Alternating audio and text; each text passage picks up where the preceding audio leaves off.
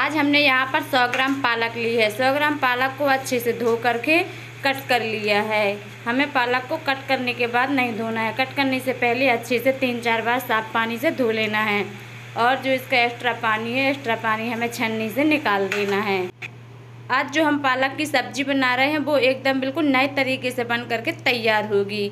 एक बार आपने बना लिया तो हमेशा इसी तरीके से पालक की सब्ज़ी बना करके तैयार करेंगे। सभी को बहुत ही पसंद आएगी। सौ ग्राम पालक से हम पूरे परिवार के लिए सब्ज़ी बना करके तैयार करेंगे। कढ़ाई में हमने थोड़ा सा पानी गर्म होने के लिए रख दिया है और जो हमने पालक को कट करके रखा था, उस पालक को हम इसमें डाल देंगे और थोड़ी देर इसको बॉयल करेंगे। पालक बहुत ही जल्दी बॉयल हो जाती है और बहुत ही कम पानी में बॉयल हो जाती है। इसलिए आप थोड़ा सा पानी रखें और पालक डाल दें। पालक तुरंत ही बॉयल होकर के तैयार हो जाती है। इसमें हम थोड़ा सा नमक डाल दें। यदि आप ढककर पकाना चाहते हैं तो एक दो मिनट इसको ढककर पका लें, नहीं तो पालक ऐसे ही अच्छे से पक करके तैयार हो जाती है।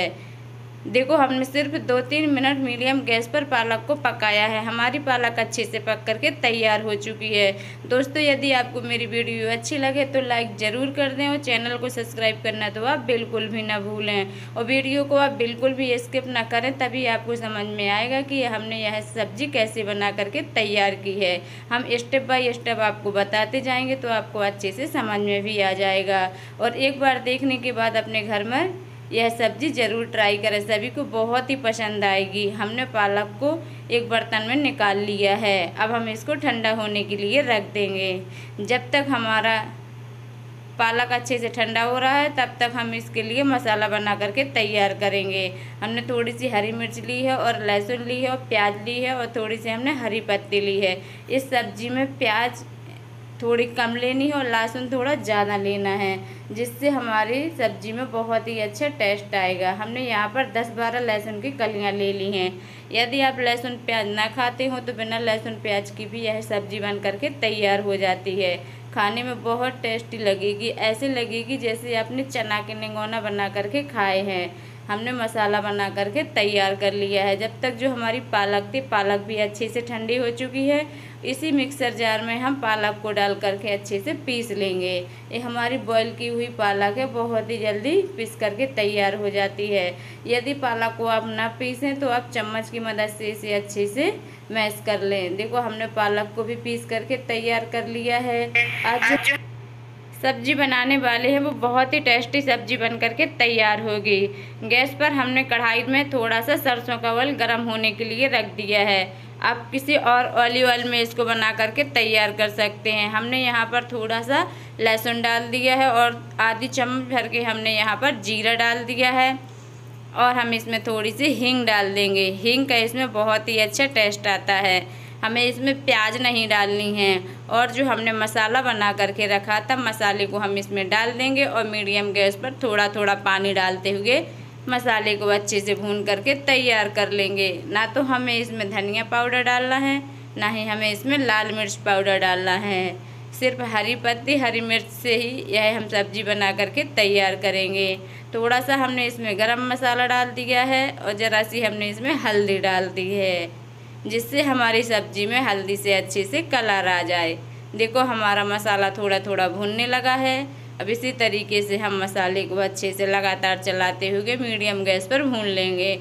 और जो हमने पालक को पीस करके रखा था, इसी में हम पालक को डाल देंगे। थोड़ी देर मसाले के साथ हम पालक को भी भून लेंगे, जिससे हमारी सब्ज़ी में बहुत ही अच्छा टेस्ट आएगा। और हम हम इसमें थोड़ा सा पानी डाल देंगे। और बाद में हम थोड़े से बॉईल किए हुए आलू डाल देंगे। यदि आपके पास बॉईल किए हुए आलू ना हो तो आप कच्चे आलू को थोड़ी सी तेल में फ्राई करके इसमें डाल दें। तो उसका भी इसमें बहुत ही अच्छा टेस्ट आएगा। इसमें हम टमाटर बिल्कुल भी नहीं डालेंगे। बिना टमाटर की आज हम पालक की सब्ज़ी बना करके तैयार करेंगे। यकीन मानिए दोस्तों, इतना अच्छा टेस्ट आएगा कि आप हमेशा इसी तरीके से पालक की सब्ज़ी बना करके खाएँगे। और हमने इसमें थोड़ा सा नमक डाल दिया था, थोड़ा सा नमक हमने पालक को बॉईल करते हुए डाल दिया था। इसलिए आपको ध्यान देना है कि बाद में आप थोड़ा सा नमक डालें। देखो, हमने थोड़ा थोड़ा पानी डालते हुए हमने जो पालक को डाला था, पालक को भी हमने थोड़ी देर मसाले के साथ अच्छे से भून लिया है। यदि आप ग्रेवी वाली सब्ज़ी बनाना चाहते हैं तो आप ग्रेवी वाली सब्ज़ी भी बना सकते हैं। यदि आप इस तरीके से सूखी सब्ज़ी बनाना चाहते हैं तो सूखी वाली सब्ज़ी बना सकते हैं। जब आप पालक की सब्ज़ी बनाएँ तो ग्रेवी वाली ही सब्ज़ी बनाएँ। ग्रेवी वाली सब्ज़ी खाने में अच्छी लगती है, सूखी उतनी अच्छी नहीं लगती है। देखो, हमने दो तीन गिलास इसमें पानी डाल दिया है, अब हम इसको थोड़ा सा पकने देंगे। दो तीन मिनट में हमारी सब्ज़ी पक चुकी है। अब हम इसमें अच्छा सा तड़का लगाएँगे। यहाँ पर हम देसी तड़का लगा करके तैयार करेंगे। यहाँ पर हमने एक दिया गरम होने के लिए गैस पर रख दिया था। उसमें हमने एक चम्मच देसी घी डाल दिया है और दो हमने लौंग डाल दी हैं। आज हम इसमें लौंग का तड़का लगाएँगे। लौंग का तड़का इसमें बहुत ही अच्छा लगता है। थोड़ी सी आप इसमें हींग डालना चाहते हैं तो आप हींग डाल दें। देखो, हमारा देसी तरीके से तड़का लग करके तैयार हो चुका है।